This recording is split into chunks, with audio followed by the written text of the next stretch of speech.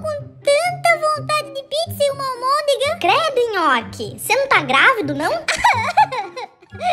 Já sei, vou trollar o nhoque. Onde você tá indo, Zorro? Fica de boa aí, nhoque. Já já você descobre. Comprado. Já já chega. Petico.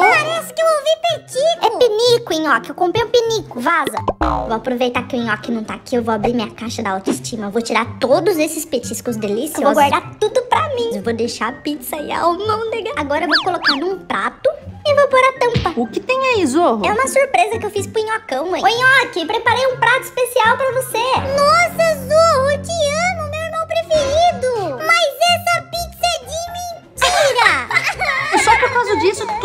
Petiscos que você tirou da caixa vai ser do nhoque. E eu, mamãe? É seu também, Bolt. Ah, não, injusto isso. Uma mãe sempre deve dividir tudo igual entre os filhos.